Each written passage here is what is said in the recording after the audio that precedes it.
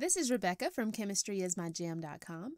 In this video, we're going to be looking at the electromagnetic spectrum and at the conditions under which an atom can give off light.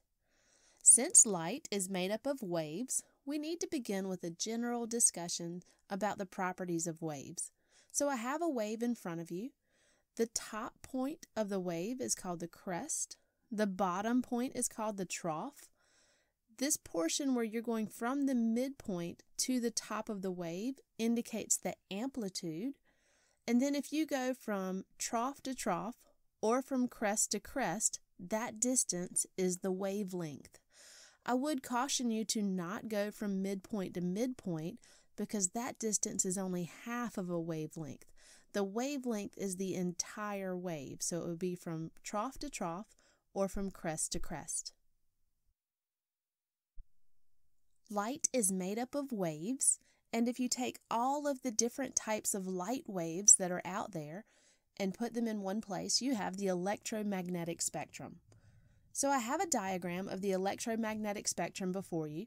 You can see that it ranges from radio waves, which have a wavelength of 10 to the third meters, all the way down to gamma rays, which have a wavelength of 10 to the negative 12th meters. So there's a really wide range of wavelengths that make up the electromagnetic spectrum. I love this particular diagram because it also, also gives you some ways to kind of visualize that size. For example, a radio wave, if you're talking about the length of a radio wave, you're comparing that to the size of a building one radio wave is roughly the size of a building. Whereas when you get down here to microwaves, you're getting into the size of somewhere between a human and a butterfly.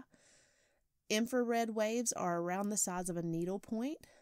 Visible light, the, the length of the wave is about the size of a protozoan, so it's getting very small. Ultraviolet light is about the size of a molecule, and X rays are about the size of atoms. A gamma ray, which is the highest energy type of light, it has the shortest wavelength, is about the size of the atomic nucleus, so it's very, very small. You can also see on this diagram that the only portion that the human eye can see is this visible portion right here. So you've got your rainbow in there, your visible portion of the electromagnetic spectrum. Beyond that, the human eye is not able to see these waves. Another thing that I want to emphasize is that what distinguishes the different types of light are the wavelengths.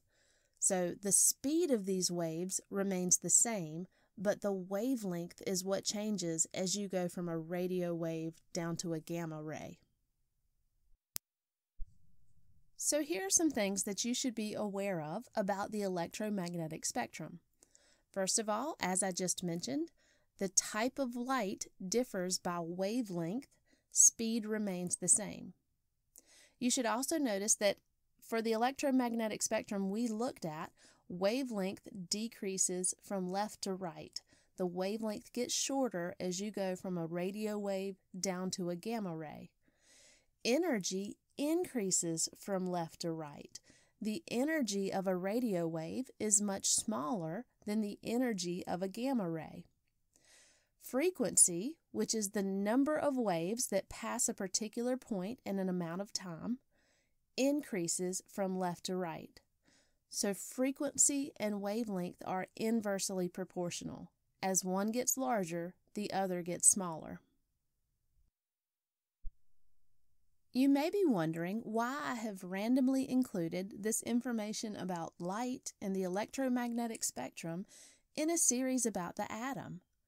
It's because under certain conditions, the atom can give off light. Electrons are in energy levels, and their lowest energy level available is called the ground state.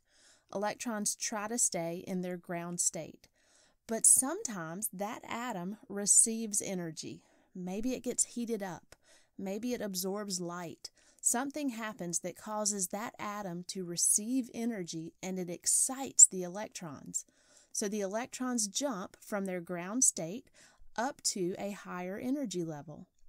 as soon as possible, they're going to fall back to their ground state. And when they fall back to their ground state, they have to get rid of that energy somehow. They emit that energy in the form of light. So, electrons emit light when they fall from a higher energy level down to a lower energy level. And the Bohr model for hydrogen allows us to predict the type of light that they give off. Here you have a diagram of the Bohr model for hydrogen. This particular one came from the North Carolina Chemistry Reference Tables. You can see that you have the nucleus in the center, and then these circles around it represent the different energy levels that are available to an electron. And then you have these arrows that indicate that an electron is falling from a higher energy level down to a lower energy level. If you follow these lines down, it tells you the wavelength of light that will be given off by that electron and then how that type of light is classified. I do want to point out that wavelength in this case would be measured in nanometers. I also want to point out how these electron transitions are grouped. They're grouped by the energy level that they fall to. So all three of these electrons are falling down to the first energy level. These are all falling to the second energy level, and these are falling to the third energy level. Here's an example where we will use this diagram to predict the type of light that an electron will give off when it goes through different transitions. In the first case, we're going from the n equals 4 to the n equals 2 energy level. That n just represents the energy level. This is a case that should give off light because you're going from a higher down to a lower energy level. So light will be emitted. If you go from low to high, energy is absorbed and that will not give off light. So you have to be going from a high down to a low energy level. In this case, the electron is going to end up on the n equals 2 energy level. That's this group of electrons right here. So we need to find the case that's starting on the fourth, and you can see where it's labeled up here. So follow the fourth around, and then dropping down to the 2 that is the wavelength, that gives off a wavelength of 486 nanometers. You can also see that that would be visible light, so you would actually see light being given off by, the, by that atom. In the case of n equals 3 going down to n equals 1, that's going to be one of these that are dropping down to the n equals 1. It needs to start on this n equals 3, so that's going to be this middle one here that has a wavelength of 103 nanometers, and the type of light would be UV. In the case of n equals 5 going down to n equals 3, that's going to be one of these three electrons because they all drop down to the third energy level. And we want the one that starts on the fifth, so that's the fifth would be here, follow it around. We're dealing with that electron transition right there, and it drops down, you can see that that would be 1,282 nanometers, and it would be infrared light. Some applications of all of this scientists have realized that each individual element gives off a different spectrum of light.